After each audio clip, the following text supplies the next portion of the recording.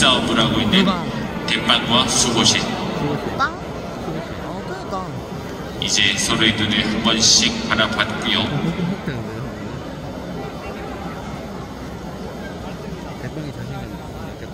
머리 만들면서 경기 진행되겠습니다. 머리 만들면서 경기 진행됩니다.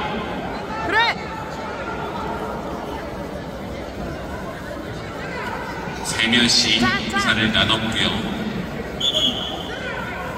이제 살구가 풀리면서 두 싸움 소만의 경기가 진행되겠습니다. 먼저 빠르게 들어가 보는 뒷방.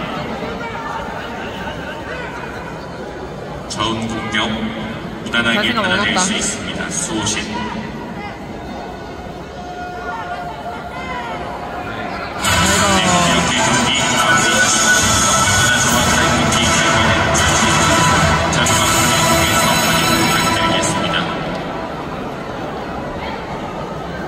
확정 전까지 우권을 구기거나 버리지 마시길 바라겠습니다. 제1경기 복승식, 시복승식 우권을 구매한 고객께서는 제3경기 확정 배당률을 확인하시길 바라겠습니다. 잠시 후 다음 경기에서 찾아뵙겠습니다.